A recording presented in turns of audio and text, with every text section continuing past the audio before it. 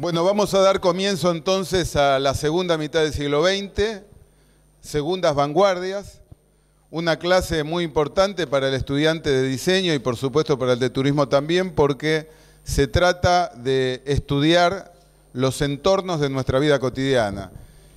La ciudad tal como la conocemos, tal como la recorremos en la actualidad, fue configurada en la segunda mitad del siglo XX y vamos a explicar por qué. De forma tal que vamos a hacer una brevísima introducción, eh, vamos a dar eh, tres aspectos básicos en este curso básico de Historia del Arte sobre el contexto histórico de la segunda mitad del siglo XX. ¿no? Entonces, lo primero que vamos a decir, vamos a ilustrar cada una de estas características con alguna imagen relacionada con la historia del arte.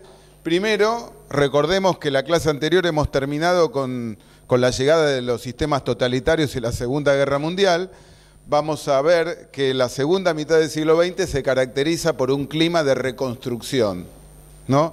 Se había superado las dictaduras totalitarias, Europa salía del fascismo en 1945, nosotros entrábamos, Europa salía.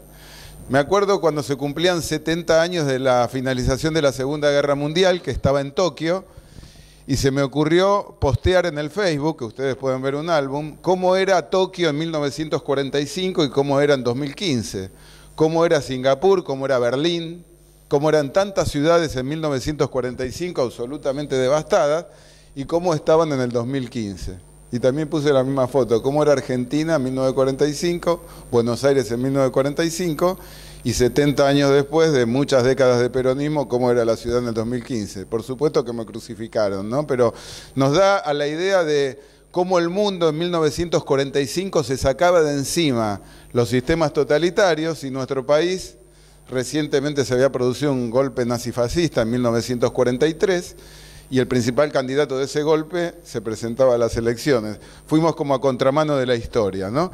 Pero lo cierto es que Europa en 1945 salía de la Segunda Guerra Mundial y había que iniciar un duro proceso de reconstrucción, ¿no? Quise ilustrarlos con algunas imágenes, por ejemplo, eh, el contexto histórico me interesa mucho el neorrealismo italiano en cine porque nos va a mostrar el estado de resignación de destrucción que estaba Europa en los primeros años de, la posguerra. ¿no? Entonces, el neorrealismo italiano con películas como Roma Ciudad Abierta o como Alemania Año Cero de Roberto Rossellini nos muestra este estado listo para empezar de cero. ¿no?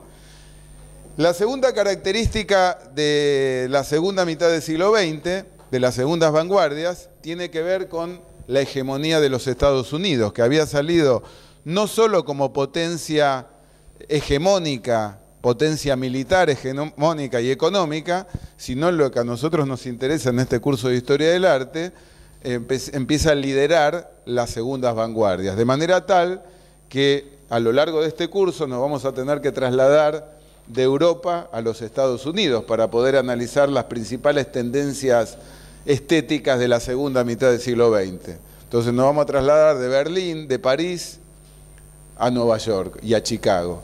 Como de hecho lo han hecho muchos artistas, intelectuales, científicos que tuvieron que emigrar de, Europa a Estados Unidos, como vimos la clase anterior. Entonces, segunda característica, la hegemonía de los Estados Unidos en todos los planos. La tercera característica que me gustaría señalarles Nunca la humanidad vivió una época de tanta prosperidad como en la segunda posguerra.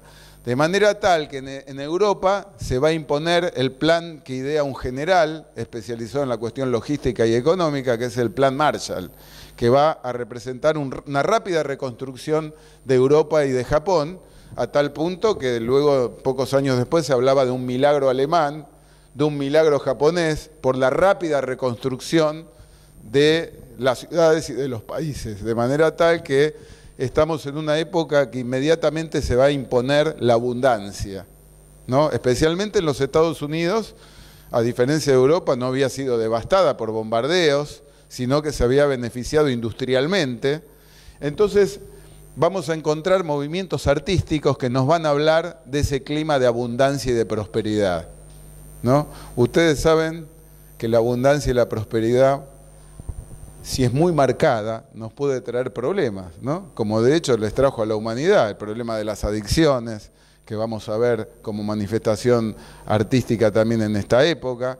El problema cómo cambió la anatomía humana, ¿no? Con, con los alimentos ultraprocesados, con la alimentación chatarra, la abundancia, ¿no? que va a provocar distintas circunstancias como problemas, enfermedades nuevas, cardiovasculares, obesidad, sobrepeso, que van a quedar registradas también en la manifestación artística. Entonces, estas tres características básicas nos sirven para introducirnos eh, en forma sintética, sintética en las principales circunstancias históricas de las segundas vanguardias en historia del arte, las segundas vanguardias del siglo XX. En el próximo video vamos a ver tres características básicas en el campo específico del arte.